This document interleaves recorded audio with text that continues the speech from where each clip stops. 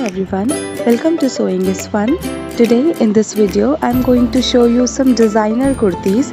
So next time when you are going to prepare your own designer wear or giving it to your tailor, just keep in mind all these designs. So let's quickly get started.